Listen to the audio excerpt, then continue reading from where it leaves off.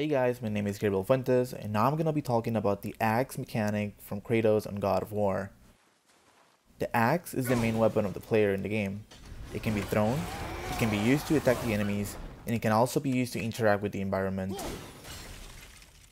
The axe can be thrown in any direction, and the player can call it back at any time by pressing the triangle button, making it return to the player's hands in an easy and accessible way.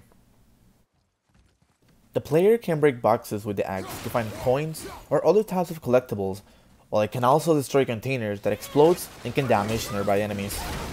The weapon is also used to interact with puzzles or different types of level mechanics that helps the player progress through the game.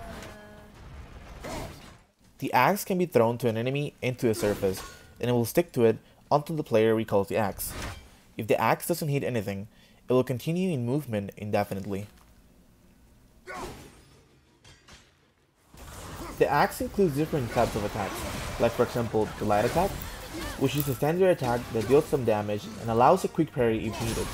This is done by pressing R1.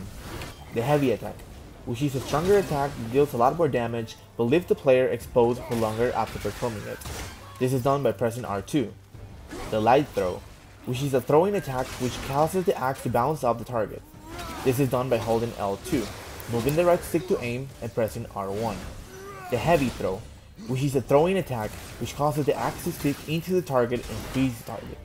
This is done by holding L2, moving the right stick to aim, and pressing R2. As you can see here, the player can combine and chain different types of attacks to implement combos, making the player have agency when fighting different enemies.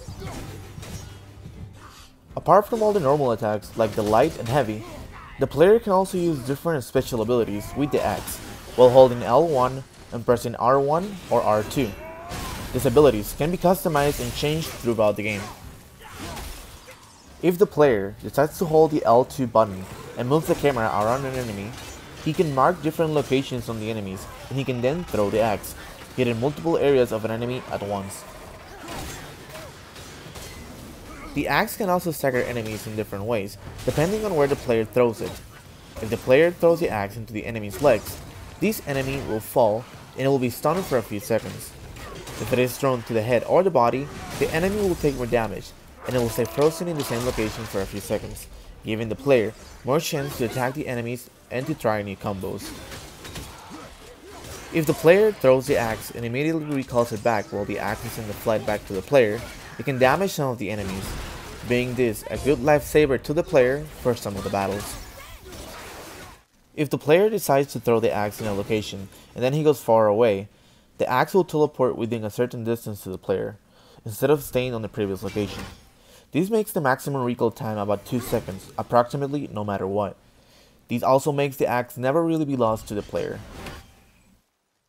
After throwing the axe, the player may notice a change in speed when calling the axe, depending on the distance the axe is. If the axe is close to the player, the axe will come fast, but it will still be visible to the player.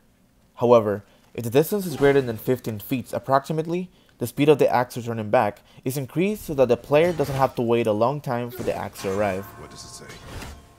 Lastly, in terms of sound and PFI, the axe has at least three different sounds to distinguish each step of the throwing process. It has one audio sound effect for when the player throws it, there's another for when it is in full flight and thus the player can distinguish what it is, and another one for when the player receives the axe in his hand.